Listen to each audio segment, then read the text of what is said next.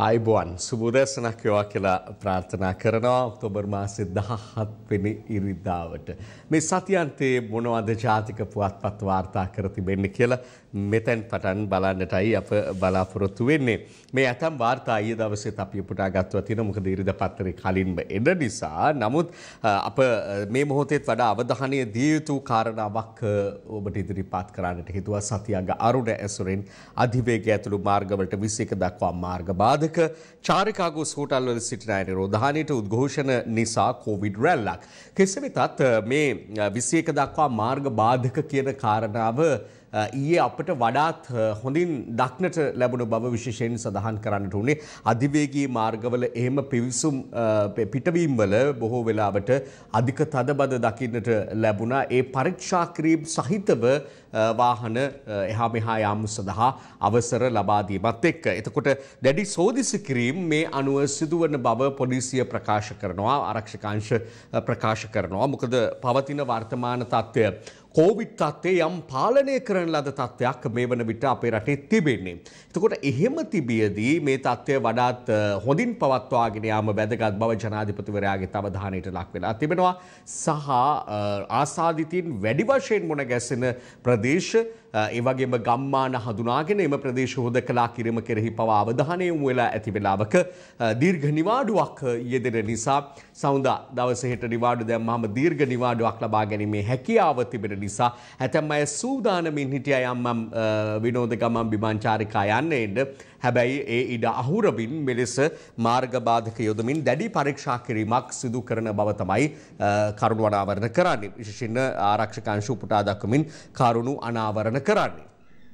ඒ අතරේ මේ පිළිබඳව වගේම විශේෂයෙන් ප්‍රවාහනය පිළිබඳව දැන් පසුගේ දිනවලින්දල කියවිච්ච කාරණාවක් තමයි විසි එක්වෙනිද ඉඳලා පලාත් අතර ප්‍රවාහන කටයුතු ආරම්භ කිරීමට සූදානම් බව. නමුත් දිලුම් අමනුගම රාජ්‍යමාත්‍යවරයා දැන් විශේෂයෙන් ප්‍රකාශ කරනවා විසි එක්විනිදා රට විවෘත කළොත් තමයි කෙන පලාත් විවෘත කිරීමක් සිදු උනෝතින් ප්‍රවාහන සේවා පුළුල්ව ක්‍රියාත්මක කරන්නට බලාපොරොත්තු වෙනවා. එසේ නොවනත් යම්මාකාරයක සීමිත බස්රථ සංඛ්‍යාවක් එහෙම දහවනය සඳහා යොදවන බවට රාජ්‍ය අමාත්‍ය දිලුම අමුණුගම මහතා සඳහන් කරනවා. අපට අද අරුණ පුවත්පත ගෙනෙන වාර්තාව යළිත් උපුටා ගන්න අපි විසියක දක්වා මාර්ග බාධක යොදලා දැඩි සෝදිසි කිරීම සිදු කරනවා. නිරෝධාන පනත උල්ලංඝනය කරමින් විනෝද චාරිකා සහ වෙනත් ගමන් බිමන් යන්නන් දැඩි පරීක්ෂාවට ලක් කිරීමට කොවිඩ් කාර්ය සාධක බලකායගත්තු තීරණයට අනුව මෙවැනි පරීක්ෂා කිරීම සිදුවන බව තමයි සඳහන් වෙන්නේ. කෙසේ වෙතත් ඒ වගේම සඳහන් නීතිරීති උල්ලංඝනය කරන්නන්ට නීතිමය ක්‍රියාමාර්ග ගැනීම පිළිබඳවත් යම් යම් සඳහන් කිරීම අපට දකින්නට පුළුවන්කම තිබෙනවා. ඉන් පස්සේ අපි එමු තවත් සුවිශේෂ කාරණාවකට ප්‍රධාන ප්‍රධානම සිරස්ථලයකට නොවෙයි. නමුත් මේ වෙලාවේ මේ මන්ත්‍රී ධුරය පිළිබඳව ගැටලුවක් අර්බුදයක් ඇති වී තිබෙන කාරණාවක් පිළිබඳව අපි සත්‍යග අරුණෙන් ඒ වගේම දිවයින ඉරිදා සංග්‍රහයෙන් අද දකිනවා. රතන හිමි කොඩියෙන් වැටේ දිවයින වාර්තා කරන්නේ. සතියග අරුණ වාර්තා කරනවා. පක්ෂයෙන් මන්ත්‍රී කමෙන් රතන හිමි නෙරපයි කියලා. පක්ෂයේ විනය මණ්ඩලය විසින් චෝදනා හතරකට වැරදිකරු කරමින් පූජ්‍ය අතුරලියේ රතන හිමියන් පාර්ලිමේන්තු මන්ත්‍රී ධුරයෙන් සහ පක්ෂ සාමාජිකත්වයෙන් මෙලෙස නිරපීමට කටයුතු කළ බව තමයි සඳහන් කරන්නේ. සංවිධායක ජාතික සංවිධායක ආචාර්ය සුසන්ත කොඩිතුවක්කු මහතා පුටා දක්වමින් සත්‍යග අරුණ මේ පිළිබඳ වාර්තා කරන්නේ අපේ ජනබල පක්ෂයෙන් තමයි රතන හිමි මෙලෙස පාර්ලිමේන්තු පාර්ලිමේන්තුවට ආවේ මේ සිදුවීම පිළිබඳව ගත්තහම එහි අතීතය විමසා බැලීමත් වැදගත් වෙනවා. මේ අපේ ජනබල පක්ෂය පහුගිය මැතිවරණයේදී ලබාගත්තු මනාප ඡන්ද සංඛ්‍යාව අනුව ඔවුන්ට ජාතික ලයිස්තු මන්ත්‍රී ධුරයක් හිමි වුණා. එක්සත් ජාතික පක්ෂයට වගේම. ඒ ජාතික ලයිස්තු මන්ත්‍රී ධුරයෙන් කවුද පාර්ලිමේන්තු එන්නේ කියන එක පිළිබඳව අපේ ජනබල පක්ෂය තුල තිබුණේ මත ගැටුමක්. එහි ප්‍රතිඵලය විදිහට දීර්ඝ කාලයක් මුළුල්ලේ පැවති මත ගැටුම් අවසානයේ පාර්ලිමේන්තු මන්ත්‍රීවරයා විදිහට අතුරලියේ රතන ස්වාමින් වහන්සේ නම් කරනු ලැබවා. එහිදී උන්වහන්සේත් එකක වූ බව කියවෙනවා මාස 6ක පමණ කාලයකට මේ මන්ත්‍රී ධුරය දැරීම සඳහා. එය ඉක්ුත් ජූලි මාසයෙන් අවසන් වනවා. ඉන් අනතුරුව තවදුරටත් රතන ස්වාමින් වහන්සේ පාර්ලිමේන්තු මන්ත්‍රී ධුරය රැඳී සිටීමට කටයුතු කිරීමත් එක්ක තමයි මේ ගැටලුකාරී තත්ත්වය ඇති වෙන්නේ. මේ පිළිබඳව මැතිවරණ කොමිසමේ සභාපති නිමල් පුංචිහේවා මහතාට දැනුම් දීමක් පක්ෂය මගින් සිදු කර ඇති බව සඳහන් වූවත් පාර්ලිමේන්තු මහලේ කම්බරයාට එය දන්වා අවසානයේ තමයි මැතිවරණ කොමිසමට දැන්විය යුත්තේ කියලා සභාපතිතුමා කියනවා. මේ පිළිබඳව මාධ්‍ය විමසාදී දවසේදීත් පාර්ලිමේන්තු මහලේ කම්බරයාගෙන් අපේ ජනබල පක්ෂය විසින් එවැනි දැනුම් දීමක් සිදු කර නැති බව තමයි කියවෙන්නේ. ඒ නිසා එතන ඉඳලම මෙලෙස රතන ස්වාමින් වහන්සේ මේ නිවත් කරනවා නම් එතන ඉඳලම කටයුතු සිදුවිය යුතු බව තමයි සඳහන් වෙන්නේ. කෙසේ වෙතත් මේ ඉවත් කිරීම හමුවේ දැන් අධිකරණයට යාමක් අපට දකින්නට ලැබෙනවා. රතන ස්වාමින් වහන්සේත් නොනවතින පාටයි. කෙසේ වෙතත් අධිකරණය තීන්දු කළූතින් රතන ස්වාමින් වහන්සේ පාර්ලිමේන්තු මන්ත්‍රීදුරයෙන් සහ සාමාජිකත්වයෙන් නිරපීම සාධාරණ ලෙස තීන්දුව ලබා දුන්නෝතින් ඉන් අනතුරුව පක්ෂයට හැකියාව ලැබෙනවා. මන්ත්‍රී දුරය සඳහා වෙනත් නමක් යෝජනා කරලා වෙනත් ඇයකු පත් කිරීමට.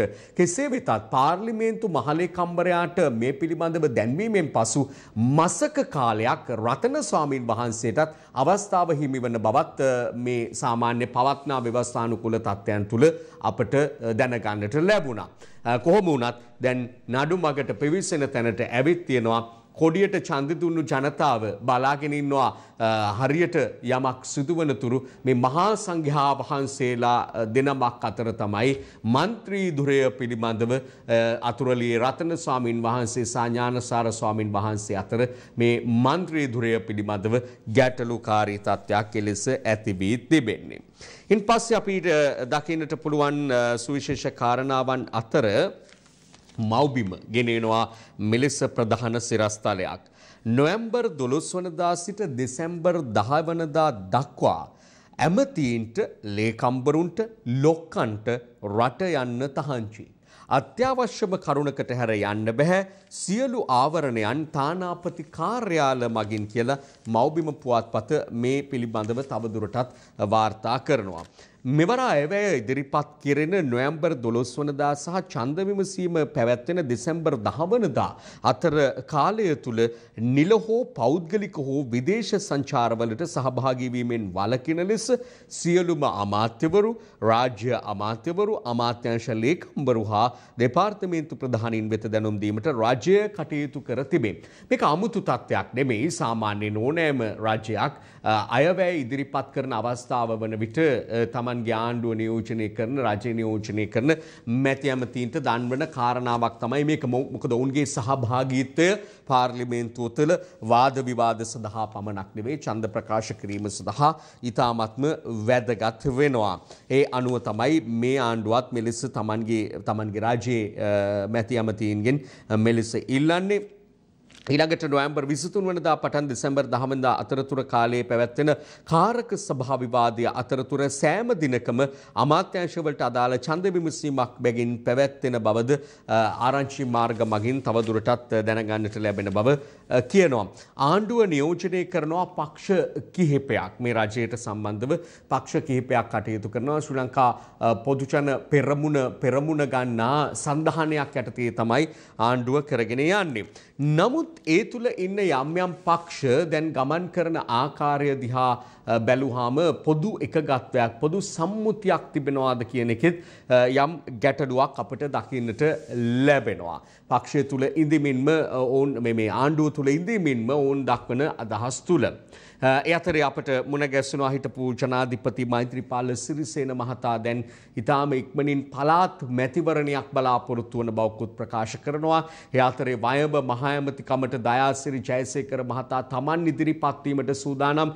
පාර්ලිමේන්තු මන්ත්‍රී දුරෙන් රාජ්‍ය අමාත්‍ය දුරෙන් ඉවත් වෙලා තමන් ඒ තැනට පක්ෂය අවසර දෙනවා නම් යන්න සූදානම්. කියලා අපට යම් යම් ප්‍රචාරයන් දකින්නට පුළුවන්කම තිබෙනවා ඊළඟට තවත් රාවයන් පැතිරි අමින් තිබෙනවා කනින් කුණින් ඇසෙන්නට පටන් අරගෙන තිබෙනවා ශ්‍රී ලංකා නිදහස් පක්ෂය වෙනම තරග කිරීමේ සූදානමක් පිළිබඳව ඒ වගේම ජාතික නිදහස් පෙරමුණ වැඩි පක්ෂ වෙනම ඒ මේ සූදානමක් පිළිබඳව මේ ආදී කාරණා දකින්නට අසන්නට පුළුවන්. ඒවත් මිට පෙරත් අපට මතකයි එවැනි තත්ත්වයන් පිළිබඳව කිව්වත් අවසාන වශයෙන් එකම පක්ෂයක් විදිහට තමයි බොහෝ තැන්වලදී ඉදිරිපත් වීම අපට දකින්නට ලැබුණේ.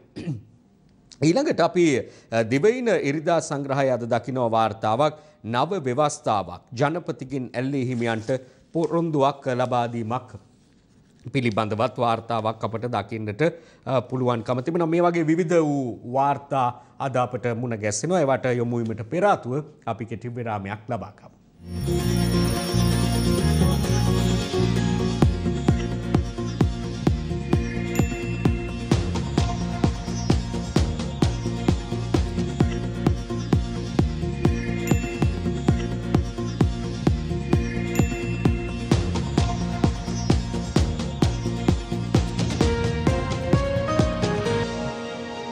යළිත් අපි මේ සතියන්ත පුවත්පත් වාර්තා කරන කාරණා වෙත අවධානය යොමු කරමු. අතර සති අග අරුණ පුවත්පත ගෙනෙන වාර්තාවල මුල් පිටු වාර්තා අතර අපට දකින්නට පුළුවන් සංචරණ සීමා මැද පාස්පෝර්ට් ගන්න පොලිමේ අධ්‍යාපන රැකියා හා පදිංචියට යාමට කියලා වාර්තා කරන මාධ්‍යයම් අවධානයක් යොමු වුණා මේ විදේශගත වීම සඳහා වැඩි පිරිසක් වැඩි උනන්දුවක් දැක්වීම පිළිබඳව පසුගිය දිනවල අපට දකින්නට ලැබුණා. කොවිඩ් වසංගත තත්ත්වය හමුවේ මෙරට හැර විදේශීය රටවලට යාමට ගත වූ මාස 9දී පමණක් ශ්‍රී ලාංකික පුරවැසියන් 1,60,158 දෙනෙක් අලුතින් විදේශ ගමන් බලපත්‍ර ලබාගෙන ඇතැයි ආගමන විගමන දෙපාර්තමේන්තුව ප්‍රකාශ කරන බව කියවෙනවා. කොහොම වුණත් ඒ අතර දැන් අර දිගු පෝලිම් සහ ඒ පෝලිම් වල හිටපු අය වර්තමානයේ පවතින අධික බඩුමිල මේ ආදී කාරණා මතු කිරීම පිළිබඳව තවත් පාර්ශව වලින් අදහස් දක්වනවා. සාමාන්‍යයෙන් මේ පිටරට ඉඳලා ආපු අයත් මේ පෝලිම් වල ඉන්නවා. ඒ වගේම තමයි දැන් ආයතන වලට ඇතුල් කරගන්නේ සීමිත සංඛ්‍යාවක්. ඒ නිසා මේ විදේශගත වීම සඳහා ලියාපදිංචි වීමට එන අය දිගු පෝලිම් වල රැඳී සිටීම වෙනත් තැන්වල දැන් පෝලිං කියන එක අපිට පුරුදු කාරණාවක් නේ දැන් රටේ. එතකොට සාමාන්‍යයෙන් සාමාන්‍ය තත්ත්වයක් මේ කාලයත් එක්ක තියෙන මේ වකවානුවත් එක්ක තියෙන එහි මේ අමුතුවෙන්ම රට හැරදාලා යන්න ලොකු පිරිසක් උත්සුක වනවා කියන එක මාධ්‍ය මගින් දැඩි ලෙස හොවා දක්වන්නට උත්සාහ කරනවා කියලා යම් පිරිසක් චෝදනාවක් එල්ල කරනවත් අසන්න දකින්න පුළුවන්. කොහොම වුණත් දැන් මේ ආගමන විගමන දෙපාර්තමේන්තුව කියන කතාව අපට බැහැර කරන්නට බැහැ. ඔවුන් කියනෝ කෝවිඩ් වසංගතය හමුවේ මෙරට හැර විදේශීය රටවලට යාමට ගත වූ මාස නවයේදී පමණක් ශ්‍රී ලාංකික පුරවැසියන් එක් ලක්ෂ හැට දහස් එකසිය පනස් අට දෙනෙක් අලුතින් විදේශ ගමන් බලපත්‍ර ඉල්ලුම් කරලා තිබෙනවා ලබාගෙන තිබෙනවා කියලායි කියන්නේ. එතකොට විදේශ ගමන් බලපත්‍රයක් ලබා ගැනීමේ චේතනාව එහෙම නැත්නම් එහි වැදගත්කම අවශ්‍යතාවය මෙතන දක්වලා තිබෙනවා එක්ක අධ්‍යාපනය ලබා ගැනීම එහෙම නැත්නම් රැකියාවකට යාම සඳහා එහෙමත් නැත්නම් මේ රටවල පදිංචියටම යාම සඳහා යම් උනන්දුවක් ඒ උනන්දුවේ වැඩිවීමක් පෙන්눔 කරන බව මේ අනුව බොහොම පැහැදිලි වෙනවා. මේට රටේ තිබෙන වර්තමාන ජීවන වියදම තත්ත්ව ආර්ථික තත්ත්වය මේ සියල්ලත් බලපාන්නට පුඩුවන් බව විශේෂයෙන් සඳහන් කරන්නට ඕනේ. ඊළඟට අනෙකුත් දැම් මේ අනාය පිළිබඳව විශෂණය කාරණාවත් අප ඉදිරිපත් කරන්නට ඕන උන්ට යම් හැකියාවක් තිබෙන නිසා මෙලෙස විදේශගතවීමට කටයුතු කරනවා නමුත් විදේශ රටවලත් ඇතැම් රටවල තත්ත්වය ගත්තුත් එහෙම අප අපේ රට ගැන මෙලෙස හිතනවා වගේම ඒ රටවල ජනතාව ඒ ඒ රටවල් තුළ දැඩි අසීරුතාවට ඇතැම් රටවල පත්ව ඇති බවත් කියවෙනවා. නමුත් තවත් රටවල් ඉතාම හොඳින් මේ සියලු වසංගත තත්ත්වයන්ද ලෝකයේ මිල ඉහළ යාම් ගෑස් මිල ඉහළ යාම කනිජ තෙල් මිල ඉහළ යාම් මේ ආදිය හොඳින් පාලනය කරගෙන පවත්වාගෙන යන රටවලුත් තිබෙන බව අප විශේෂයෙන් අවධාරණය කරන්නට ඕනේ. ඉන් පස්සේ අපි එමු මෞබිම පුවත්පතට. මෞබිම පුවත්පතේ සඳහන් වෙනවා ක්‍රෙඩිට් කාඩ් ගෙවීමක් අයකරගන්න බැරිව ගුවන් තොටුපළ සමාගම ඩොලර් 48කට රටම බාල්දු කරලා සංචාරක ඇමතිට පැමිණිල්ලක්. මේ ජර්මන් සංචාරක කණ්ඩායමක් රැගත් ගුවන් යානයක් හදිසි ගොඩබෑමකට කටුනායක ගුවන් තොටුපළට එනවා. ගුවන් තොටුපළේ ගොඩබෑමක් සිදු කරනවා. මෙහිදී ක්ෂණික සිදුවන දෙයක් නිසා ගුවන් තොටපළ නිලධාරියෙක් සම්බන්ධ කරගෙන ඔහු හරහා තමයි මේ කටයුතු ඔවුන් සිදු කරගෙන තිබෙන්නේ.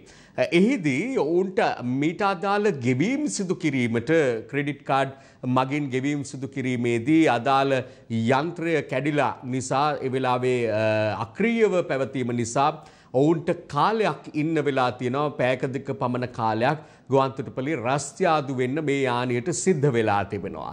ඉන් පස්සේ යම් වෙනත් ක්‍රමයකින් අයකර ගැනීම කරනවා. මොකක්ද එතකොට මේ ඩොලර් 48 ප්‍රශ්නය? ඒ ඩොලර් 48 මේ ගොඩබෑමට අදාළ ගාස්තුව නෙවෙයි. මේ පිළිබඳව ඊයේ පෙරේද දවස්වල මාධ්‍ය ටිකක් අවධානය යොමු කරලා තිබ්බ කාරණාවක් ඔබත් තැම්මිට ඔබටත් මුණ ගැස්සෙන්නට ඇති. මේ ඩොලර් 48 ඒ යානේ ප්‍රමාද ගාස්තු විදියට අපේ ගුවන්තොටුපළ අය කරගත්තු ගාන. සාමාන්‍යයෙන් අපහසුතාවයකට පත්තුණු පාර්ශවයට හරිනම් වන්දියක් දෙන්න ඕනේ වෙලාවේ ඒ අපහසුතාවයට පත්වෙච්ච පාර්ශවයෙන් ප්‍රමාදගාසු අයකරගත්තු අරුම පුදුම අවස්ථාවක් තමයි මේ වාර්තා වෙන්නේ. ඒකත් ඩොලර් 48ක්. ඩොලර් 48ක් කියන්නේ කීයක්ද කියලා ඔබට ගණන් හදලා බලා ගන්න පුළුවන් ඩොලරේ මිලත් එක්ක එවැනි ඊටාම පුංචි සුළු මුදලකට මේ ගුවන්තොටුපළ පරිශ්‍රය තුල එවැනි මුදලක් කියන්නේ ඊටාම සුළු මුදලක්. ඒ වගේ මුදලකට රට බාල්දු කළා කියලා චෝදනාවක් මේ එල්ල වෙනවා සංචාර කැමතිට පැමිණිල්ලක් පවා මේ පිළිබඳව ඉදිරිපත් වෙලා තිනවා. කෙසේ වෙතත් මේ යානය මගින් ඒ පාලන අධිකාරිය මගින් ප්‍රකාශයට පත් කරලා තියෙනවා ගුවන් මගීන්ට දැනුවත් කරලා තිබෙනවා ශ්‍රී ලංකාවේ ගුවන් තොටුපළ ඩොලර් 48කට අපව රඳවාගෙන ඉන්නවායි කියලා. ඔවුන්ට රස්යාදු වෙන්න වෙලා තියෙනවා අපේ ගුවන් තොටුපළ තුල. රටට වෙච්ච අපකීර්තියක්. කොවිඩ් වැළඳී සති දෙකේ සිට 6කට පසු රට පුරා දරුවන්ට සංකූලතා ඇතිවන අවදානමක් තිබුණා. ළමා රෝග විශේෂඥ වෛද්‍ය නලින් සිකිතුල්වත් උපුටා දක්වමින් ගෙනෙන තවත් වාර්තාවක් එලෙස අපට මව්බිම පුවත්පතේ දකින්නට පුළුවන්කම තිබෙනවා. ඉන් පස්සේ අලි මිනිස් ගැටුම මෙල්ල කරන අලුත්ම හඳුන් කූරක් ගැනත් මවබිම පුවත් පත වාර්තා කන එක බලන්නම වටින හඳුන් කූරක් ඒ නිසා අපි බලමු මේ කුමක් ගැනද කියන්න කියලා. අලි වෙඩි ගිනි අවි හක්ක පටස්සැනි හිංසාකාරී භාණ්ඩ යොදා ගනිමින් වන අලි මරා දමමින් සිදුවන අලි මිනිස් ගැටුම හඳුන් කූරකින් මෙල්ල කරන අලුත්ම අවියක් සොයාගෙන තිබෙනවා කියලයි කියන්නේ අලිත් එක්ක හඳුන් කූරක් මොකක්ද කියලා ඔබට හිතෙන්න පුළුවන්. වන අලි නිවෙස් වලට පහර දීම නිවෙස් වල අටුවල ගබඩා කර තිබෙන වී කෑමට පුරුදු වී සිටින වන අලි අලුතින් සොයාගත් මෙම හඳුන් කූර පත්තු කර ඒන් හමන සුවඳින් මේ අලින්ට ඒ සුවඳ ආග්‍රහණය වීමත් එක්ක වීවල සුවඳ ඔවුන් එන්නේ වීවල සුවඳට වී මොනවා කියලා කියන්නේ අලිය ඇවිල්ලා. ඒ ආග්‍රහණය වීම වැලක් වෙනවා කියලා කියන්නේ මේ හඳුන් කූරේ සුවඳ නිසා අලි නිවෙස්වලට පහරදීමට නොපැමිණ නිවෙස්වලින් බැහැරට ගමන් කරනවා කියලා සොයාගෙන තියෙන අපුරු සොයා ගැනීමක්. මොකද මෙච්චර කල් ජනතාව මැසිවිලි නගපු කාරණාවක් තමයි මේ අලිමිනිස් ගැටුම. එක පැත්තකින් ජීවිත අහිමි වෙනවා, වගා අහිමි වෙනවා, පාළු වෙනවා, ඊළඟට නිවාස කඩලා බිඳලා දානවා, අවදානම් රැසයි. අනිත් පැත්තෙන් මේ සත්වයින්ගේ ජීවිතවලට වන හානි වටිනා අලි ජීවිත විනාශ වී යාමේ සිද්ධි ගණනාවක් අපට අසන්නට දකින්නට ලැබෙනවා. නිරන්තරව මේක නිමා වෙච්ච ප්‍රශ්නයක්වත් පේනමානයක නිමාවක් නැති ප්‍රශ්නයක්. හැබැයි ඉතින් මේ හඳුන් කූරකින් සියල්ල විසඳන්නට පුළුවන්ද කියන එකත් අප සිතා බලන්නට ඕනේ. මේක කාලයක් මුළුල්ලේ විවිධ විසඳුම් අලි වැටවල් අලි අගල් මේ ආදි විවිධ කාරණා විසඳුම් විදියට ගෙනවත් තාම විසඳා ගන්න බැරිව තිබෙන ප්‍රශ්නයක්. හඳුන් කූරකින් කොහොමද සම්පූර්ණයෙන්ම විසඳන්නේ කියන එකත් ගැටලුවක් කොහොම වෙතත් අලින්ගේ වාසස්ථානවල ගිහිල්ලා ජනතාව පදිංචි වුණාම වගා බිම්වලට පරිවර්තනය කරගත්තාම මෙවැනි තත්ත්වයන් නැතිවීමත් සාමාන්‍ය තත්ත්වයක් කොහොම වුණත් මේ දෙපාර්ශවය ගැනම හිතලා බැලුවාම මෙය කඩිනම් විසඳුම් ලැබිය යුත්තක් කියන එකත් විශේෂයෙන් කියන්න ඕනේ. අපි තප්පර කීපයක් ගමු වෙලාව බලන්න මේ අතරේ. වතාවක් ඉරිදා මෞබිම පුවත්පතට අවධානය යොමු කරමු බුද්ධංගල රක්ෂිතයේ මහා පරිමාණ දඩමස් ජාවාරමක් පිළිබඳවත් අද මෞබිම වාර්තා කරනවා. ඊළඟට ඩයනා පක්ෂයෙන් නිරපුවා පාර්ලිමේන්තු මහලේකම්ට සජබ මහලේකම් දැනුම් දෙයි කියලා පුවතකුත් අද අපට දකින්නට පුළුවන්කම තිබෙනවා. ඊළඟට මේ මෞබිම පුවත්පතේ තවත් විවිධ වූ වාර්තා අපට මුණ ගැසෙනවා. නමුත් ඒ අතරේ දිවයින ඉරිදා සංග්‍රහයේ තියෙනවා කාබනික පොහොර තීරණය ආපස්සට ගන්න. දයාසිරි ජනපතිගෙන් ඉල්ලයි කියලා.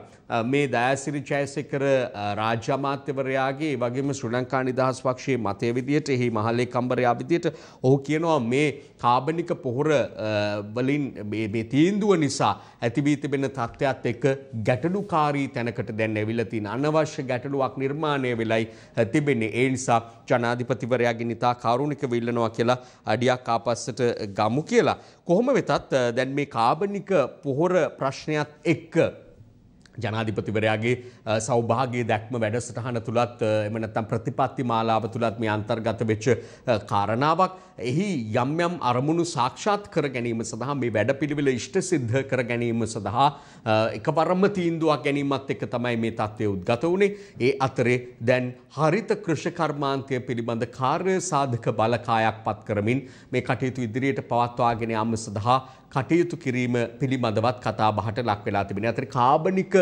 වගාවට සම්පූර්ණයෙන්ම යොමුවීම එකවර අසීරු තත්ත්වයක් ගෙන තිබීමත් එක්ක රසායනික පොහොර යම් යම් වගාවන් සඳහා නැවත ගෙන්වීම සඳහා තව දහනය යොමු වෙන. අතර කාබනික පොහොර ගෙන්වීමත් කාබනික වගාවට අවශ්‍ය දියර පොහොර ඉන්දියාවේ සිට ගෙන්වීමත් මේ දිනවල සිදු වෙමින් තිබෙනවා. මේ අතරේ හරිත කෘෂිකර්මය සඳහා කාර්ය සාධක බලකායක් පිහිටුවීමේ ඇති වැදගත්කම පිළිබඳව කියවෙන පුවත් වාර්තාවක් අප සතුව තියෙනවා අපේ ප්‍රවෘත්ති අංශයේ සකසපු වාර්තාවක් අපි දැන් එක නරඹමු. ජනාධිපති ගෝටාබේ රාජපක්ෂ මහතා හරිත කෘෂිකර්ම සංකල්පය යෝජනා කළේ ඔහුගේ පසුගිය මැතිවරණ ප්‍රතිපත්තිය තුළයි. එදා ඩොල හිංගයක් හෝ කොවිඩ් වසංගතයක් තිබුණේ නැති බව අප දන්නවා. එදා ඔහුගේ යෝජනාව තුළ වූයේ සැබෑ අවශ්‍යතාවයක්. උතුරු මැද වෙලාගත් වකුගොඩු රෝගයේ කඳුළු කතාව තුළ මහ පොළව ගිලගත් බැරලෝහ ඇති බව අප දන්නවා. එසේම පිළිකාරෝහල් පිරියාම තුළ උදේ හවස අප කණබුණ විෂ රසායනික ද්‍රව්‍ය ඇති බව පිළිගත යුතුයි. හුදෙක්ම වගාව සඳහා රසායනික පොහොර හෝ පලිබෝධනාශක යෙදීම මීට රිජු හේතුව ලෙස දැක්වීම වැරදි. ලෝකෙ පුරාම ඉහළ අස්සනු සඳහා නව තාක්ෂණය සේම රසායනික පොහොර සහ පලිබෝධනාශක යොදාගන්නවා. අපේ රටේ මෙතෙක් යොදාගත් රසායනික පොහොර හෝ පලිබෝධනාශකවල ප්‍රමිතිය සැබෑවටම ගැටලුකාරී බව අමුතුවෙන් කිව යුතු නැහැ. රසායනික පොහොරවලින් කාබනික පොහොරවලට අපේ පොළොව කවදා හෝ දවසක මාරු කළ හැකිනම් එය අනාගත දරුවන්ගේ පැවැත්මට විශාල ශක්තියක් වනු නොඅනුමානයි. එහෙත් එය සතියකින් දෙකකින් හෝ මාසයකින් කළ හැකි බවට විශ්වාස කිරීම විද්‍යාත්මකව සලකා බැලීමේදී අනුවනකමක්. ෂණිකව කාබනික පොහොර හඳුන්වාදීමට යාම නිසයි අද අනවශ්‍ය අර්බුදයක් හටගෙන ඇත්තේ. මෙහිලා ජනාතිපති ගෝටාබේ රාජපක්ෂ මහතාගේ නව ජනාධිපති කාර්ය සහධක බලකායක් යෝජනා කිරීම අගය කළ යුතුයි. විශේෂෙන් එම කාර්ය සාධක බලකායට පැවරී ඇති එක් කාර්යක් වන්නේ විවිධ භෝගයන්ට අවශ්‍ය කාබනික පොහොර හඳුනා ගැනීම සහ එම පොහොර නිෂ්පාදනය දියුණු කිරීමයි. එසේම කෘමිනාශක හා වල්නාශක දේශීයව නිෂ්පාදනයට අවශ්‍ය දැනුමද කාර්ය සාධක බලකායෙන් අපේක්ෂා කරනවා. දැනට පවතින පොහොර ගැටලුව නිරාකරණය සඳහා ජනාධිපති කාර්ය සහධක බලකායට විශාල කාර්යභාරයක් පැවරී ඇති බව මාධ්‍ය ආයතනයක් ලෙස මතක් කරන්නට සතුටුයි. මේ පොහොර පිළිබඳව කාරණාව ගොවි ජනතාවට ගොවි පවුල්වලට ගොවි බිමට ගොවි ජනපදයට පමණක් සීමා කරන්නට පුළුවන් කාරණාවක්. වන්නේ නැහැ. ඒ නිසා තමයි නිරන්තරව මාධ්‍යමය පිළිබඳව අවධානයෙන් ඉන්නේ. ගැටලුකාරී තත්ත්වයන් පිළිබඳව ගොවි ජනතාව මුහුණ දෙන ප්‍රශ්න පිළිබඳව නිරන්තරයෙන් වාර්තා කරන්නට කටයුතු කරන්නේ. සහ ඒ වගේම අනෙක් පස්සෙන් ගත්තහම රජය ගත්තු මේ තීරණය ජනාධිපතිවරයා ගත්තු මේ තීරණය වැදගත්කමත් ජනතාව අතරට ගෙන යාම මාධ්‍යයක් විදියට අප ඉටු කරමින් ඉන්න බවත් විශේෂයෙන් සඳහන් කරන්නට ඕනේ. මොකද මෙතනදී යම් ප්‍රදේශවල ජනතාව වකුගඩු රෝගවලට පිළිකා රෝග රෝගවලට දැඩිව මුහුණ දීමට හේතුවක් විදියට මේ දශක ගණනාවක ඉඳලා භාවිත වන රසායනික පොහොර වල්නාශක කෘමිනාශක පලිභූතනාශක ආදිය බලපා ඇති බවට දැන් තහවුරු වී තිබෙනවා සොයාගෙන තිබෙනවා.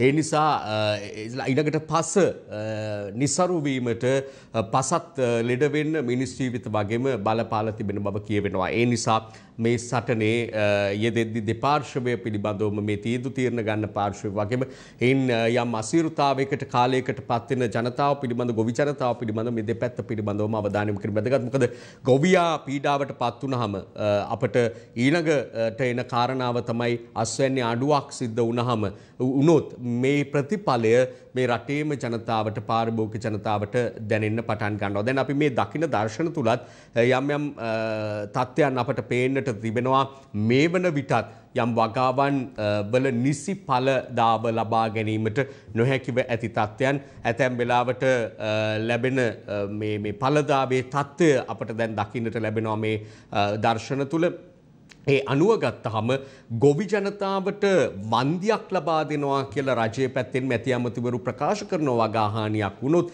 අස්වැන්න අඩු වුණොත් එය පියවීමට මුදල් දීලා ගොවි ජනතාවට යම් සහනයක් ලබා දුන්නත් ජනතාවට මේ රටේ ඒ ඒ නිෂ්පාදන කනබුන ජනතාවට සල්ලි කන්න දෙන්න පුළුවන් කමක් ලැබෙන්නේ. එතකොට පිට රටින්ම ආනයනය කරන්නටත් මේ රජයට සිදුවන බව විශේෂයෙන් සඳහන් කරන්නට ඕන එකත් ප්‍රශ්න කෙරෙන කාරණාවක්. ඉන් පස්සේ අපි දිවයින ඉරිදා සංග්‍රහයට එමු චීන සමාගමකට කෝටි 700ක දොළ පෙදේනියක් පිළිබඳව අද වුන් ප්‍රධාන සිරස්තලයේ ගෙන එන්නේ තාක්ෂණික ඇගීම් කමිටු නිර්දේශද නොසලකා හැර ඉහළ ඇලහැර උමං ව්‍යාපෘතිය වසර දෙකකින් කඩිනම් කිරීමට බව පවසල චීන සමාගමක් වෙත අමතර රුපියල් කෝටි 700කට ආසන්න. එකද ඇමරිකානු ඩොලර් මිලියන 35ක පමණ මුදලක් ලබා දෙන්න සැලසුමක් ක්‍රියාත්මකයි කියලා තමයි දීපු මුදලක් ගැන නෙමේ වැනි සැලසුමක් සූදානමක් තිබෙනවා කියන එක දිවයිනට වාර්තා වූ බව දිවයින ඉරිදා සංග්‍රහය අද ප්‍රධාන සිරස්තලයේ පළ කරනවා. ඒ අතරේ අපට මේ එම පත්තරේම මුල්පිටු වාර්තා අතර දකින්නට පුළුවන් වරායේ තුන් කොන් සටනින් ජාතික ආරක්ෂාව අනතුරේ වරාය පොදු සේවක සමිතිය. මොකක්ද මේ තුන්කොන් සටන කා අතර තිබෙන සටනක්ද කියන එක ඔබ බලනවා ඇති. එක පැත්තකින් චීනය ඊළඟට ඉන්දියාව ඇමරිකාව මේ ආදී රටවල් වරායට සම්බන්ධවීමත් එක්ක සම්බන්ධ කර ගැනීමත් එක්ක ඇතිවන තත්ත්වයන් පිළිබඳව තමයි මේ කියන්නේ. එයින් රටේ ආරක්ෂාවට වරාය කියලා කියන්නේ මර්මස්ථානයක් එතකොට රටේ ආරක්ෂාවට එන් අත්වන ඉරණම පිළිබඳව තමයි පුවත්පත මෙලෙස අවධානය යොමු කරන්නේ. කොළඹ වරාය ඉතාම සුවිශේෂ වරායක් ලෝකයේ වරායවන් අතර මුල් වරාය විසි පහේ තියෙන වරායක් ඊළඟට පහුගිය කාලය අපට මතකයි එබග්‍රීන් සමාගමේ එබ එස් ලෝකයේ තියෙන විශාලතම බහලුම් නෞකාව පවා ආපු වරායක් අපේ වරාය. යතර මේ දවස්වල නැංගුරම්ලා ඉන්නවා රුසියානු යුදනවක් ඒ වගේම සබ්බැරීන දෙකක්. මේ පිළිබඳවත් වාර්තාවක් අප සතුයි ඔබ මෙවැනිදේ බලන්නටත් කැමති බවත් අපි දන්නවා අපි ඒ වාර්තාවත් බලලේ.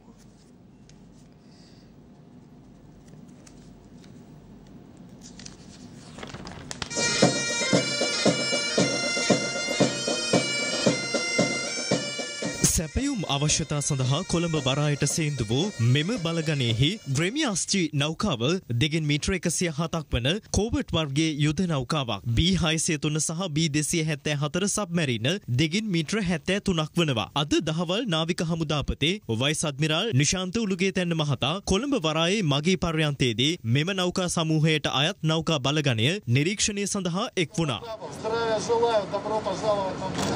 Дежурный по кораблю, корабль. До 40 километров, да, можно එහිදී නාවික හමුදාපති සහ එම නෞකා බලගනේ අනදෙන නිලධාරී ඇතුළු අනෙකුත් අනදෙන නිලධාරීන් අතර එම අවස්ථාව සනිටුහන් කරමින් සමුරු තිරෙන හුවමාරුවක්ද සිදු කෙරුණා. මෙම බලගනයට අයත් නැවමුළුව ඔක්තෝම්බර් දාහත් වන දින කොළඹ නගරේ ආකර්ශණය ස්ථාන නැරඹීමට නියමිතව තිබෙනවා. ඔක්තෝම්බර් දහ අට වන දින බටහිර නාවික විධානයේ ආඥාපති සමග මෙම බලගනේ අනදෙන නිලධාරී සහ අනෙකුත් අනදෙන නිලධාරීන් නිල හමුවක් සිදු කිරීමටද නියමිතයි. මෙම බලගනය ඔක්තෝම්බර් දහට වනදා දිවයිනෙන් පිටත්ව යාමට නියමිතයි.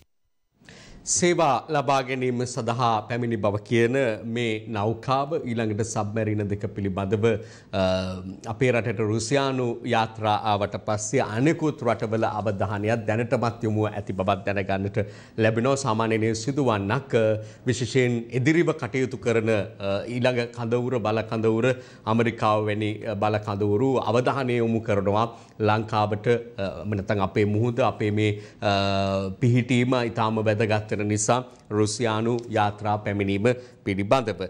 ඊළඟට අපට දිවයින ඉරිදා සංග්‍රහයෙන් මුණගැසෙන සුවිශේෂ වාර්තාවන් අතරේ සතොස මෝල් දෙකක් හිතල ෆේල් කරලා තුෂාන් ගුණවර්ධන මහතා නගන චෝදනාවක් පිළිබඳව අද දිවයින වාර්තා කළ තියෙනවා අපට දකින්නට පුළුවන්කම තිබෙනවා මේ පිළිබඳව වැඩි විස්තර දහසේ වෙන පිටුවට ගෙනවිත් තිබෙනවා අපි ඒ පිටුවත් බලමු මොනවද මේ තුෂාන් ගුණවර්ධන මහත්මයා කියන්නේ කියලා.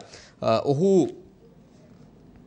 දෛනිකව සහල් කිලෝග්‍රෑම් ලක්ෂය බැගින් නිෂ්පාදනය කළ හැකි සතුස ආයතනයට අයත් මහා පරිමාණ සහල් මෝල් දෙකක් කිසිදු ප්‍රයෝජනයට නොගෙන හිටපු නොගෙන වැසියාමට ඉඩහැර ඇති බව පාරිභෝගික අධිකාරියේ හිටපු විධායක අධ්‍යක්ෂ තුෂාන් ගුණවර්ධන මහතා පවසනවා කියලා තමයි දිවයින ඉරිදා සංග්‍රහය කියන්නේ.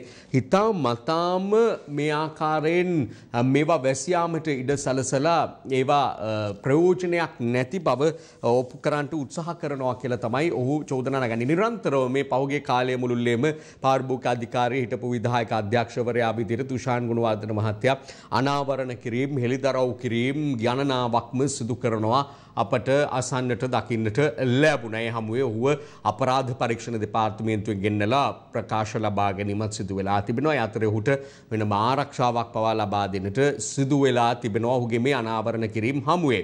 එනිසා වෙළඳ අමාත්‍යවරයා සහ වූ අතර යම් ගැටලුකාරී තත්ත්වයකුත් නිර්මාණය වුණා මේ චෝදනා අවසානයේ නැගුණේ වෙළඳ අමාත්‍යවරයා ඉලක්ක කරගෙන ඒ නිසා වෙළඳ අමාත්‍ය ආචාර්ය බන්දුල ගුණවර්ධන මහතා තිලනෝ තමන්ට එරෙහිව ආපු මේ චෝදනා පිළිබඳව කඩිනමින් විමර්ශනයක් කරලා තමන්ගේ නිර්දෝෂී භාවය ඔප්පු කරන්න සහයෝගය ලබා දෙන්න කියලා.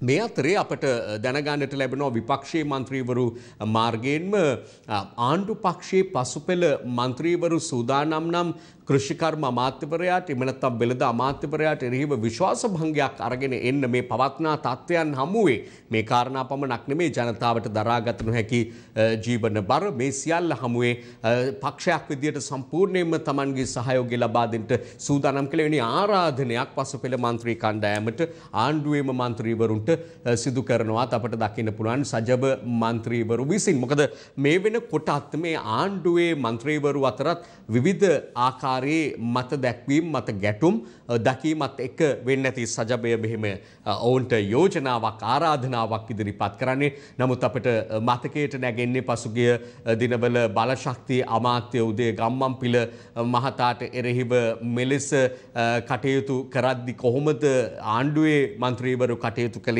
කියන එක පිළිබඳව. ඒ අතරේ වී හූරගෙනම එන්න ඇමති වාහන එකසිය හැත්තෑ හයක් දාලා කුඩා මූල් හිමියෝ විපක්ෂනායකට කියති කියලත් දිවයින ඉරිදා සංග්‍රහය වාර්තාවක් මුණ ගැහෙනවා. රජයේ ඇමතිවරයෙක් විදියට කටයුතු කරන සහල් ව්‍යාපාරිකයෙක් ඔහු ප්‍රකට සහල් ව්‍යාපාරිකයෙක් ඔහු මෙලෙස වාහන විශාල සංඛ්‍යාවක් යොදවලා තමන්ගේ අටතට සහල් වැඩි ප්‍රමාණයක් ලබාගන්න අත්පත් කරගන්න මේ කටයුතු කරනවා. ව්‍යාපාරය තවත් පුළුල් කරන්න කටයුතු කරමින් ඉන්නවා කියලා තමයි චෝදනා නගන්නේ. ඒ පිළිබඳව කුඩා මූල්හිමියන්ට තමයි ගැටලුව බරපතල ලෙසම ඇවිල්ලා තිබෙන්නේ. ඔවුන් දුක මේ ආණ්ඩුවෙම ඇමතිවරයෙකුත් වෙන නිසා ආණ්ඩුවට කියලා වැඩක් නෑ කියලා හිතලා විපක්ෂ නායකවරයාට කිව් සිද්ධියක් පිළිබඳව මෙලෙස වාර්තා කරනවා දිවයින ඉරිදා සංග්‍රහය. යතර දේශීය කිරිපිටි බිලත් ඉහළට හයිලන් කිලෝවක් රුපියල් දෙසිය විසි පහකින් නගී. මේක අලුත් පුවතක් නෙමේ දේශීය කිරිපිටි තිහළ නැංවීම පිළිබඳ ඊය දවසෙත් අපි එයම් වාර්තා ඔබට ඉදිරිපත් කර. ඒ වගේම දැන් කිරි ගොවියාගේ පැත්ත පිළිබඳව බැලීමේදී ඔවුන් බලාපොරොත්තු වුණ වැඩි මුදලක්. දැනට ලැබෙනවාට වඩා වැඩි මුදල මොකද කිරිපිටි මිල ඉහළ නැංවීමත් එක්ක කිරි මිල කිරි ගොවියාගෙන් ගන්න කිරිවලට ගෙවන මිල ඉහළ දැමිය යුතුයි කියලා ඔවුන් එකහෙලාම කියන්නේ. ඒ අනුව රුපියල් 7ක මුදලක් කිරි ලීටරයකට ලබා දෙන්නට කටයුතු කරන බව කියවෙනවා. හැබැයි කිරි ගොවීන් මේ රුපියල් 7 මදි කියලා දැන් තමන්ගේ පැත්තෙන් මේ පිළිබඳව කිරි නිෂ්පාදන ආයතනවලට දැනුම්දීම් කර තිබෙන බව දැනගන්නට ලැබෙනවා. අපේ රටේ ප්‍රධාන දේශීය සමාගම් දෙකක් කිරිපිටි නිෂ්පාදනයේ යෙදෙනවා. මේ සමාගම් දෙකටම යෝජනා ඉදිරිපත් කර ඇති බව කියනවා. මේ කිරිගොවින් සුරක්කීමේ සඳහා පිහිටුවා ඇති සංවිධාන. මගින් සංගම් මගින් මෙලෙස ඔවුන්ගේ ඉල්ලීම් කර තිබෙන බව දැනගන්නට ලැබෙනවා. රුපියල් හත මදි. ඊට වඩා මුදලක් ලබා දෙන්නට කියලා. ඊළඟට අපිට දිවයින ඉරිදා සංග්‍රහය මුණ ගැසෙන තවත් වාර්තාවන් අතර තියෙනවා. නව ව්‍යවස්ථාවක් ජනපතිගෙන් ඇල්ලේ හිමියන්ට පොරොන්දුවක්. සජිත්ගෙන් වෘතිය සමිති පොකුරක් පිළිබඳවත් වාර්තාවක් අපට දකින්නට පුළුවන්කම තියෙනවා. අපි ඉක්මනින් ඉක්මනින් යම් යම් කාරණා උපුටාගෙන යමු. ඉන්දියාවෙන් නාඩු තවම සතුසේ නැහැ කියලා අපි සහල් ගැන කල්ලුත් කතා කරා. තවත් වාර්තාවක් තියෙනවා ඉන්දියාවෙන් ආපු නාඩු තවම සතුසේ නැහැ කියලා මුදා හැරීම පිළිබඳව ගැටලුවකුත් මතුවුණා. අන්ත කාබනික පොහොර ගැන අපි කලින් මේ වාර්තාව උපුට ගත්තා. ඒ තීරණය ආපස්සට ගන්න කියලා කරන ඉල්ලීම් පිළිබඳව ඊළඟට අන්තර්ජාලය නිසා නිසා තැපෑලෙන් ඩොලර් මිලියනයක් හැලිලා ගුවන් හමුදා නිවාස හතලිහක් ගන්න විට කෝටි එකසිය තිහක් පිල්ලි ගිහින් කියලත් වාර්තාවක් අදාපට දකින්නට පුළුවන්. හෝල් සමතලාවේ චිත්‍රපට කඳුළු සලයි. මේ තත්ත්වයම හොඳ චිත්‍රපටයක් කරන්න හොඳ කතා තේමාවක්ද කියලා තිතනවා ඒ තරමටම කර්මාන්තය කඩාගෙන වැටීමකට ලඟ චිත්‍රපට කර්මාන්තය දේශීය චිත්‍රපට කර්මාන්තයට හතු ඉරණම පහුගේ කාලයේදී වෙනත් වෙනත් හේතුන් නිසාත් ගත්තහම යම් පසුබෑමක් තිබුණා. ඒ අතරේ යම් යම් නිෂ්පාදකයෝ මැදිහත් වෙලා හොඳ අධ්‍යක්ෂවරු ඉදිරියට ඇවිල්ලා නැවත වතාවක් ප්‍රේක්ෂක ආකර්ෂණය දිනාගත හැකි චිත්‍රපට නිෂ්පාදනය කරමින් ජනතාව අතරට ගෙන යමින් යම් ආකාරයක කර්මාන්තය ඉහළට ඔස්සවාගෙන ආපු කාලයක තමයි එක පැත්තකින් පාස්කු ප්‍රහාරය ඇවිල්ලා ඊළඟට කොවිඩ් තත්ත්වයෙන් මේ පමණ කාලයක් මේ චිත්‍රපට කර්මාන්තයට පහර වැදෙන්නේ. මෙතනදි කලාව මතකයට එනවා චිත්‍රපට පමණක් නෙවෙයි විශේෂයෙන්ම වේදිකා නාට්‍ය කලාව වැඩි ඒවාට අත්ව ඇති ඉරණම පිළිබඳව මේ කලා ක්ෂේත්‍රයන්හි නියැලෙන සෑහෙන පිරිසක් ඉන්නවා. ඍජුව සහ වක්‍රව නියැලෙන බොහෝ දෙනෙක් ඉන්නවා. මේ සෑම දෙනාටම මේ වෙලාවේ දැඩි අසිරුතාවලට මුහුණ පානට වෙලා තිබෙනවා. ඊළඟට ප්‍රාසංගික කාරණාවන් ගත්තොත් එහෙම සංගීත ප්‍රසංග වැනි ඒවා ප්‍රාසංගික ඉසව් ගත්තත් දැඩි අසීරුතාවයකට ඒවායේ යෙදෙන මේ කර්මාන්තින්න බොහෝ දෙනෙක් අද පත් වෙලා ඇති බව බොහොම කනගාටුවෙන් ප්‍රකාශ කරන්නට ඕනේ. ඒ නිසාම මේ රටේ ජනතාව විදියට සෑම සියලු දෙනාගේම වගකීම යුතුකම අපි යළිත් අවධාරණය කරන්නට කැමති. හැකි ඉක්මනින් මේ කෝවිඩ් තත්ත්වයෙන් ගොඩ එන්නට තත්ත්වය පාලනය කර ගන්නට අපි උත්සුක වූ තරමට ඒ අයත් රැකෙනවා. අපටත් එහි වින්දනය ලබන්නට පුළුවන්කම යළිත් උදා වෙනවා. ඊළඟට අපි තුන්වෙනි එන්නතට තිබෙන සූදානම පිළිබඳවත් දිවයින ඉරිදා සංග්‍රහය අද වාර්තාවන් දකිනවා. මේ තිබෙන ඇතම් කාරණාවල ඇතුල් පිටු කතා අප ළඟ තියෙනවා. අපි ඉදිරියට ඉදිරිපත් කරන්නට බලාපොරොත්තු වෙනවා. මව්බිම පුවත්පතේ දකින ප්‍රධාන සිරස්තලයේ හැරුණු කොට තිබෙන අනෙකුත් කාරණා අතරේ කෙරවල පිටිය සම්බන්ධව ආණ්ඩුව හොර රහසේ ගිවිසුම් කීපයක් අත්සන් කිරීම පිළිබඳව අනුර කුමාර දිසානායක ජාතික ජනබලවේගයේ නායකතුමා පාර්ලිමේන්තු මන්ත්‍රීතුමා උපුටා දක්වමින් වාර්තාවක් අද අපට දකින්නට පුළුවන්කම තිබෙනවා. Allah ඊළඟට ජයි බට නඩුවේ නැමති බැසිල් හා කිත්සිරි රණවක නිදහස්වීම පිළිබඳවත් අද අපට වාර්තාම්බුණ ගැසෙනවා. ඔක්තෝම්බර් විසියෙක් වනිදා සුභ කටයුතු රැසකට විශිෂ්ට මුහෘර්තයක් තිබෙන බව අද මේ ඇතුල් පිටු තුළ තරුපති ආදී විශේෂාංග තුළ ලියවී ඇති බව මවබිම පුවත්පත මුල් පිටු සිරස්තල යොදමින් ඔබට කියනවා. ඉන්දියාවේ රහමාන්වත් පරද්දපු මැනිකෙට ලෝකෙ හතර වටෙන්ම ලැබෙන ඇරියුම් ගැන කියන කතා. අද මෞබිම පුවත්පතේ ඇතුල් පිටු වාර්තා තුළ දකින්නට ලැබෙද්දී ඇය ගැන සඳහන් කරපු වෙලාවේ එවැනි වාර්තාවකටත් යොමුවන්නට අපි බලාපොරොත්තු වෙනවා. මා දැක්ක ඇය පිළිබඳව ඇතුල් පිටු වාර්තා තුළ පළවී තිබෙනවා. දැන් මේ වෙනකොට පත්තර බොහොමයක මාතෘකාව බවට පත්වෙලා තියෙන්නේ ඇයි? දැන් අප දකින්නේ යොහානිද සිල්වා මේ ලාංකීය ශිල්පිනිය පිළිබඳව පලවී තිබෙන වාර්තාව පිළිබඳව. අපට මේ වාර්තාව ඇතුළට යන්නට තරම් කාල වෙලාවක් නැහැ. කෙසේ වෙතත් ඇය පිළිබඳව තියෙනවා මේ රහමාන්.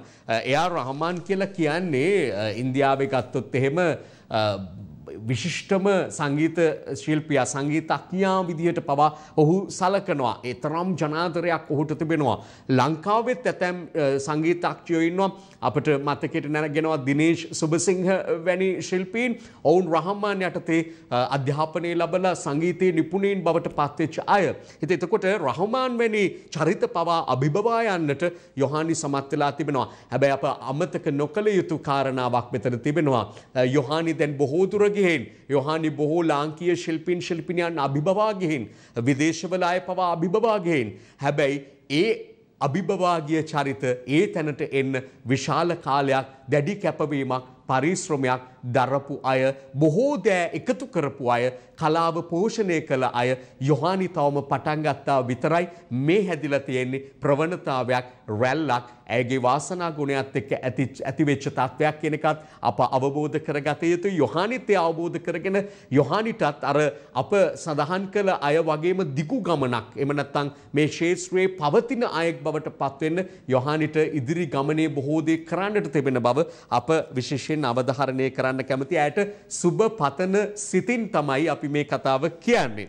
ඉන් පස්සේ අපිට මේ මෞබිම පුවත්පතේ තවත් ඉතාම කනගාටුදායක සිදුවීමක් ඉදිරිපත් කරන්න තියෙනවා කෝවිඩ් වැළඳුණු අම්මයි තාත්තයි දොස්තර පුතාගේ ඇස් ඉදිරිපිටම අවසන් ගමන් ගිය හැටි කියලා අද පළවෙන වාර්තාවක් පිළිබඳව මේ කෝවිඩ් වසංගත තත්ත්වයෙන් තරාතිරම එම නැත්තම් වෙනත් කිසිදු දෙයක් අදාළ වුණේ නැහැ. විවිධ ක්ෂේත්‍රවල ප්‍රබලයින් පවා මේ රටට ලෝකයට අහිමි වෙන්න මේ කොවිඩ් වසංගත තත්ත්වය බලපෑවා. පුතා දොස්තර කෙනෙක් කරන්නේ අම්මෙක් තාත්තෙක් ඉස්සල්ලාම මොන ලොකු බලාපොරොත්තු තිබුණත් පුංචි අහිංසක බලාපොරොත්තුවක් තියෙනවා වයසට ගියාම බේත් හේත් ටිකක් ගන්න ගෙදරම දොස්තර පුතෙක් ඉන්නවනි කියලා. හැබැයි ඒ දොස්තර පුතාටවත් අම්මගේ තාත්තගේ ජීවිතේ බේරගන්න බැරි වුණා මේ කොවිඩ් වසංගතය හමුවේ. එතරම්ම එහි තිබෙන බැරෑරුම්කම භයානකකම අපට තේරුම් ගන්න මේ අවාසනාවන්ත සිදුවීමම ඇති කියලා අප විශ්වාස කරනවා. ඉන් පස්සේ අපි එමු අරුණ පුවත්පතට අරුණ පුවත්පතට ඒමේදී අදාපට දකින්නට පුළුවන්කම තිබෙනවා.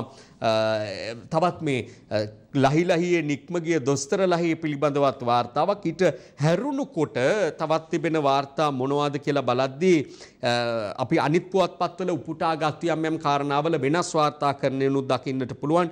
ඉන්දියන් බුරුම සහල් සතොසට එද්දී දේශීය සහල් මිල යලි ඉහළ යාම. කිලෝ රුපියල් 5කින් ඉහළ ගිහින් කියලා. ඊළඟට සීනි පාලන මිල රුපියල් 25කින් වැඩි කරන්න කරන ඉල්ලීම් පිළිබඳව.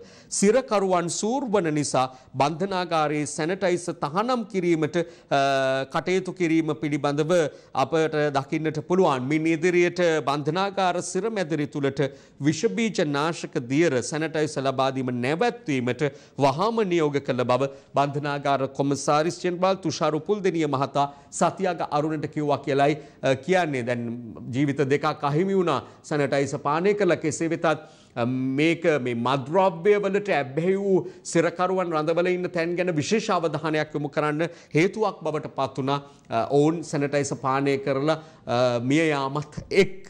එන් පස්සේ අපට අද දවස මුණ ගැහෙන පොලිස් සේවා මන්තා සභාපති පුටුව හිස් කනිෂ්ඨ නිලධාරීන් දුකෙන් කියලත් වාර්තා පළ වෙලා තියෙනවා. ඉස්ලාම් මන්තවාදීන් මිනිස්සු මරන්නේ දුන්නු ඊතල වලින් නොවේ රාජ්‍ය වෙච්ච සිද්ධිය පිළිබඳව මෙලෙස වාර්තා වෙනවා. ඊළඟට ඇෆ්ගනිස්තානයේ බෝම්බ පිපිරීම් දැන් විටින් විටින් විට වාර්තා වෙනවා ඒ ගැනත් අද අපට දකින්නට පුළුවන්කම තිබෙනවා. අපි ඇතුල් පිටු වාර්තා කිහිපයකට අවධානය යොමු කරන්නට ඕනේ අතර මේ ඔබේ අවධානයට විශේෂින් දරුවෙන්න මව්පියන්ගේ අවධානයට මේ මව්බිම පුවත්පතේ මේ වාර්තාව අපි ගෙනෙන්නේ මාළුන්ගේ කුසගීන නිවන්න ගෙහින් ජීවිතය අහිමි කරගත්ත පුංචි පුතෙක් පිළිබඳව හොරණ මොරගහයන පොලිස් වසමට ඇත් ඔලබොඩුවත්ත ප්‍රදේශයේදී වෙච්ච අවාසනාවන්ත සිදුවීමක් පිළිබඳව වාර්තාවක් අද කියවන්නට ලැබෙනවා.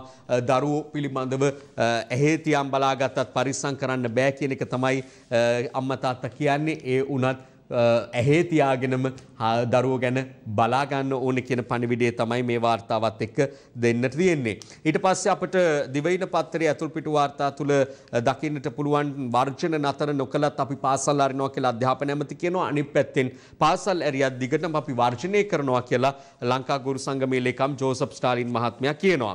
ඊට පස්සේ අපට වෞබිම පුවත්පතේ ඇතුල් පිටු වාර්තා තුල මුණ ගැසෙනවා 20යි 20 ලෝක කුසලාන තරගාවලියේදී දඟපන්දු යවන්නන් රාජ කරන ලකුණු පහළ වෙලා තියෙනවා කියලා. කෙටි සිරස්තල කීපයක් තියෙනවා ඉදිරිපත් කරන්නට හේතුව අවිශ්කගේ සාර්ථකත්වයට මඟ පෙන්වුවේ මහේල. මේ 2020 සාජ තරගාවලිය පිළිබඳව ගෙනෙන වාර්තාව අකිල ධනංචය ගෙනාවේ ඇයි? තරග දිනවන ක්‍රීඩකයන් වෙන්න නම් තරග දිනවන ක්‍රීඩකයන් වෙන්න නම්දරු අයට බැරි මොකද?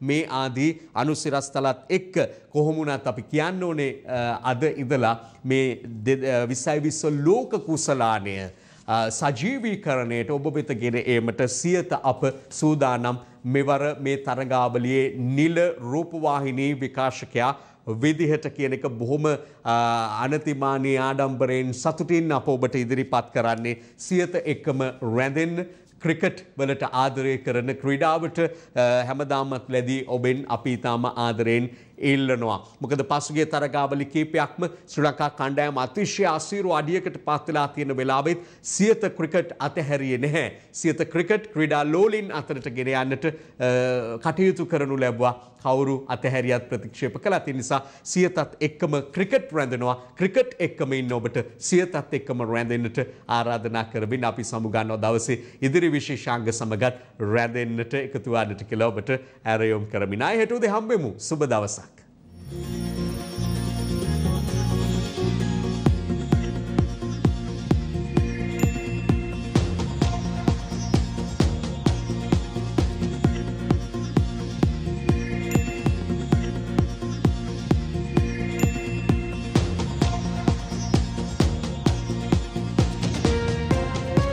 දිනපතා අලුත් වීඩියෝ සහ ප්‍රවෘත්ති නැරඹීමට ඉහත බටන එක කලික් කර සියත TV සබස්ක්‍රයිබ් කරන්න.